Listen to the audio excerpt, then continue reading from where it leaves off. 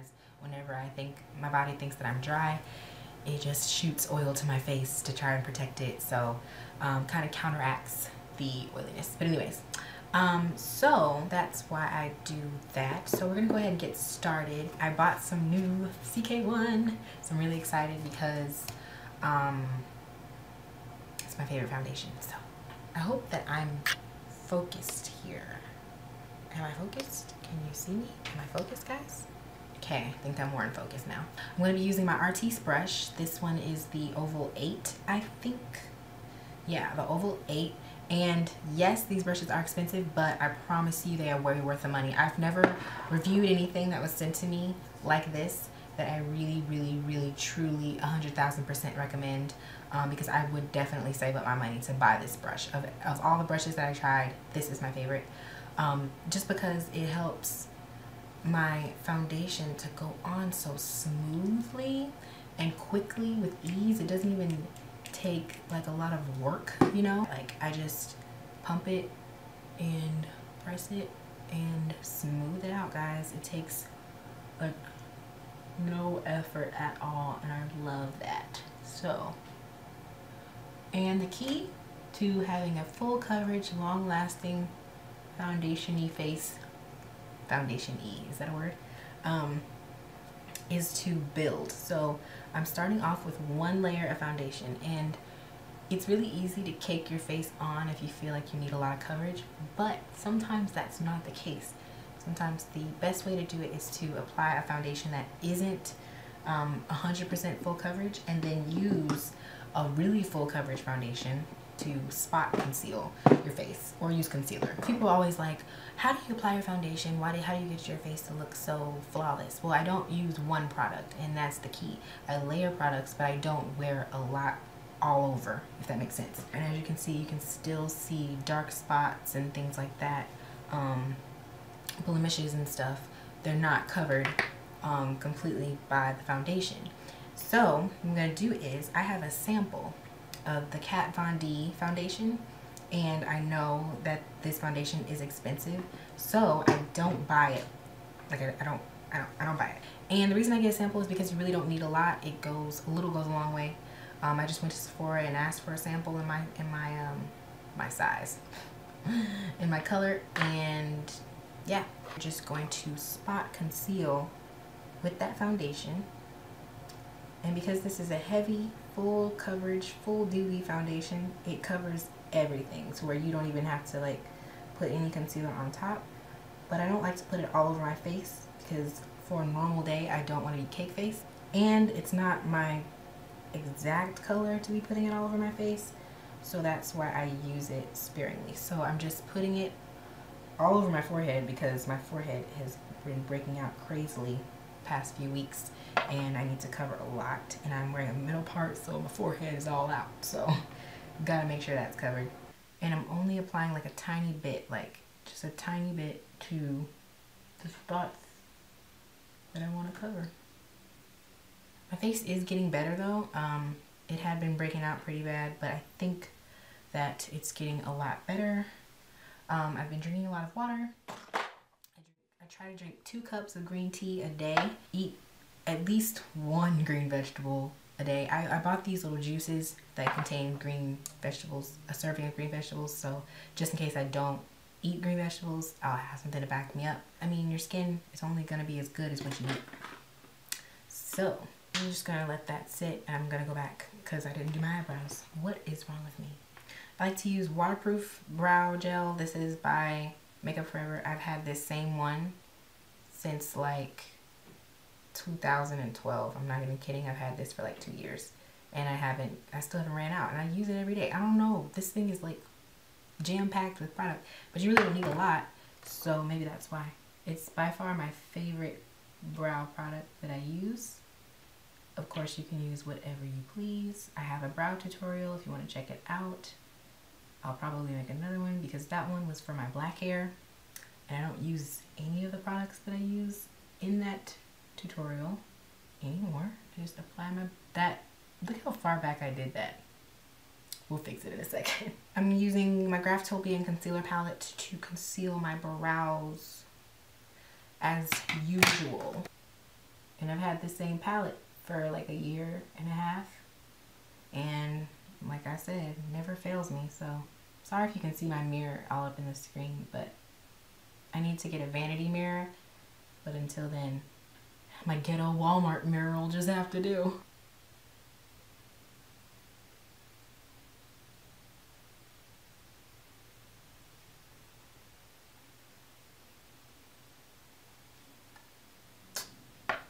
I think we got the eyebrows on fleek.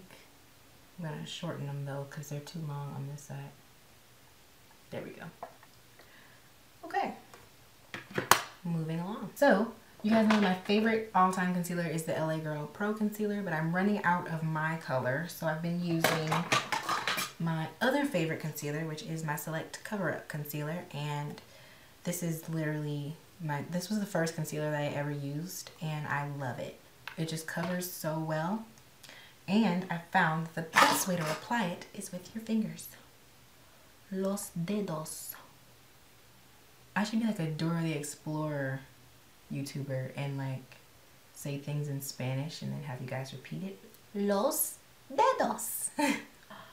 I'm so weird.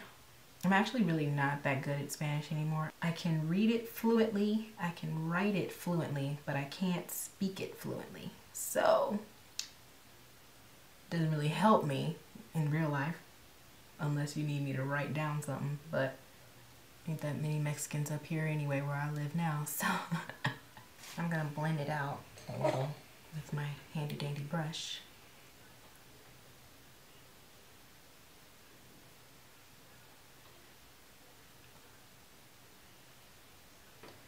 Well, I'm gonna set my under eyes with banana powder because I want a full, actually, I'm gonna use this Halo Perfecting Powder from Smashbox and my twin wife, Taylor. We're like besties now. She gave me this powder and I went to visit her in Tampa. So we'll see how it works. It's actually too dark for me. So that is going to be my contour. Alright. So this is now my contour color. Thanks, Tay. Yeah, it's way too dark to put all over my face. So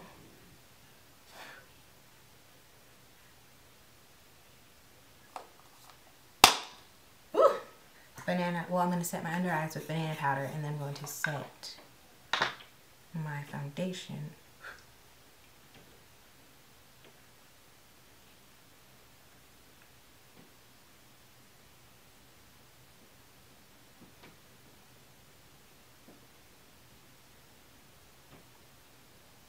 with my MAC Mineralized Skin Finish Powder. Sorry if I'm not as energetic as I normally am. I don't know why I'm not energetic today. I'm just not. Going in with my LORAC Pro palette. And I'm going to take taupe and run that in my crease.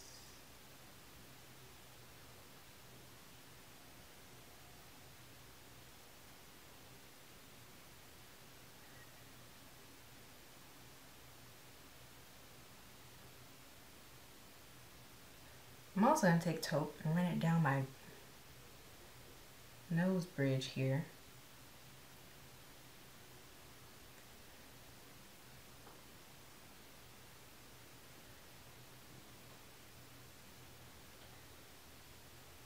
And it's not really dark, so it's not like super contouring my nose, but it's just giving it enough depth to make it look a bit slimmer. I'm gonna take a pencil brush like this one and use that on my inner corner with the color nude. A little bit of champagne. And I'm gonna take that on the inner corner here. And then blend that out with my finger.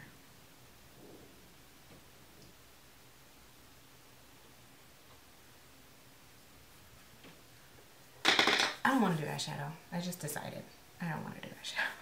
I feel like I should put some eyelashes on. Even though I kind of don't want to wear eyelashes today.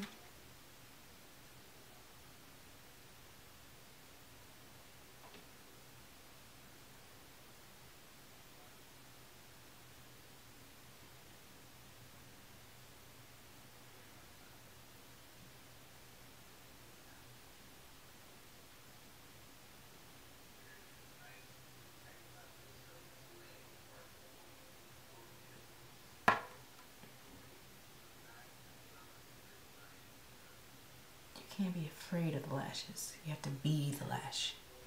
Be the lash. It's crazy because I'm doing all this just to film a couple videos and you guys don't really care if I have lashes on or not. Like, what? I might be too long because this one looks... Are these the same lashes?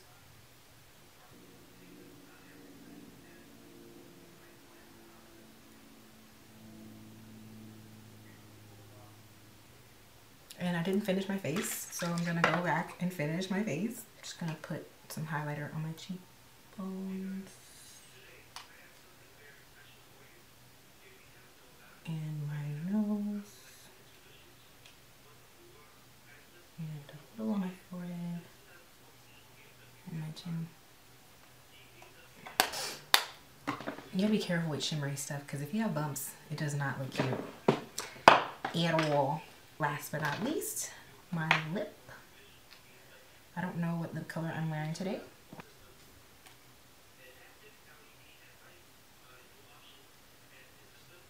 I think I need to film more.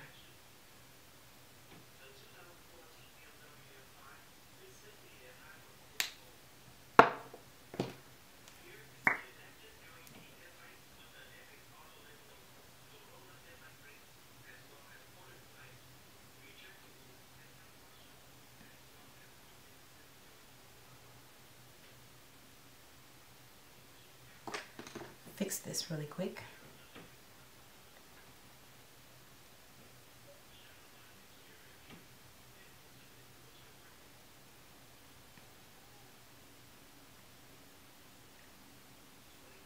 This is the finished product. And I hope that you guys enjoyed it. And I'll talk to you guys in my next video.